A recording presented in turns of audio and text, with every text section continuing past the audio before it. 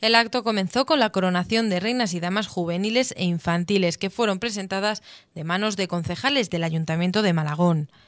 Entre las autoridades, el acto contó con la presencia de la consejera de Economía y Empleo de la Junta de Comunidades, Carmen Casero, que previamente había firmado en el libro de honor del Ayuntamiento. También el delegado de la Junta de Castilla-La Mancha en Ciudad Real. El momento de inaugurar sus fiestas, de pregonar lo que se siente cuando llega esa semana, que como ha dicho el alcalde, todos se merecen. Y también son momentos efectivamente para la reflexión, para que los lazos de vecindad también se estrechen. La aparición del pregonero Julián Ruiz Moyano Balmaseda no se hizo esperar, con un discurso lleno de referencias a Malagón que le había tocado vivir desde hacía muchísimos años, sus compañeros, sus amigos, su familia y por supuesto sus vecinos malagoneros. O cómo olvidar aquellos veranos en la aldea del Cristo del Espíritu Santo con toda mi familia. O cómo olvidar aquel desfile en un día del Corpus, tan magníficamente vestido todo de blanco, por la calle Real y con mi querido primo Manolo. La tarde fue entrando en calor y emociones. Sobre el escenario desfilaron los mejores expedientes académicos ejemplares del curso 2012-2013 y tras ello los ciudadanos ejemplares que este año fueron Julián Domínguez Mendiola, Hilario Gómez Muñoz, Valentín Espinosa Sánchez. También recibieron reconocimiento, en este caso como malagoneros ausentes, Germán Navas Quintano y José Medina Díaz.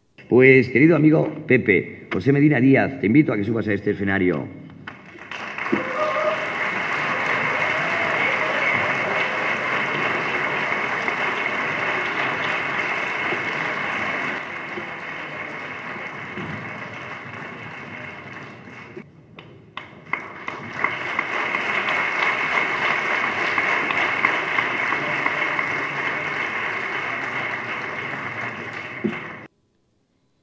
Mención especial para Feliciano Díaz Toledo, que presentó su tercer libro Malagón, sus deportes, ayer y hoy.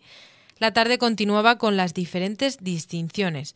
A los empresarios malagoneros y las esperadas palabras de la consejera, quien tuvo palabras de agradecimiento a los empresarios de la tierra y al anfitrión de las fiestas, Adrián Fernández.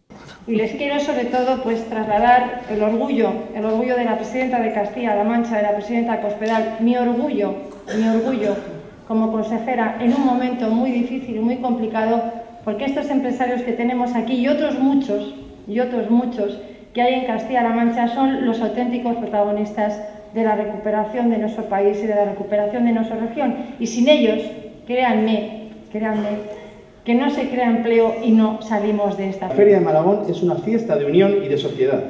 Y por eso todos en conjunto merecéis mi más sincero reconocimiento como alcalde de todos vosotros pues vuestra participación, ilusión y acogimiento en cada uno de los eventos que desde el Ayuntamiento se organizan suponen importantes marcos y retos de trabajo en equipo, respeto y esfuerzo común, aglutinándose en la cultura, el ocio y el deporte.